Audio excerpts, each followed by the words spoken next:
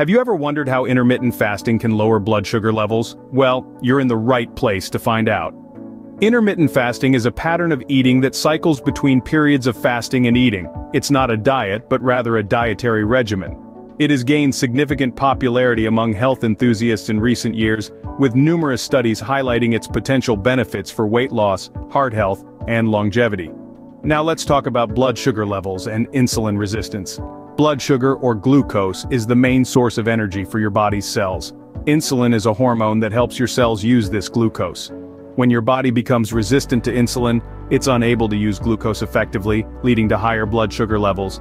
This can pose serious health risks, including type 2 diabetes and heart disease. So, why does this matter? Because intermittent fasting has been shown to improve insulin sensitivity, helping your body better regulate its blood sugar. Stay tuned as we delve into the science that makes intermittent fasting a helpful tool in managing blood sugar levels. Now let's get into the science of how intermittent fasting can improve insulin resistance and lower blood sugar levels. Recent scientific studies have revealed some intriguing facts, they show that the body's insulin sensitivity increases after a period of fasting. What does this mean? Well, it means the body becomes more receptive to insulin, the hormone that regulates blood sugar levels.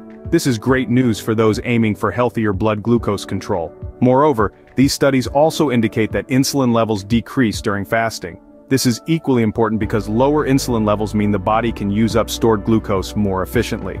And the icing on the cake? These beneficial effects are not limited to the fasting period alone. They continue to have a positive impact on blood sugar levels even after you've eaten your next meal. Isn't it fascinating how our bodies adapt to different eating patterns to optimize our health?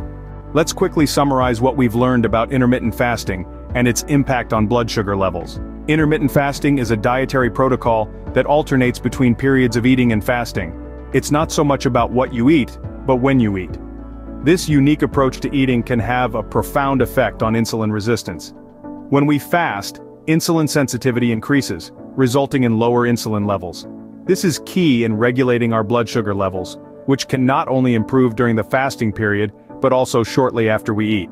So, the take-home message here is that intermittent fasting can be a useful tool in managing blood sugar levels, particularly for those dealing with insulin resistance issues. Remember, while intermittent fasting can be beneficial, it's always important to consult with a healthcare professional before making significant changes to your diet or lifestyle. Please like, comment, and subscribe to the Healthy Body Hub channel for more informative videos like this one.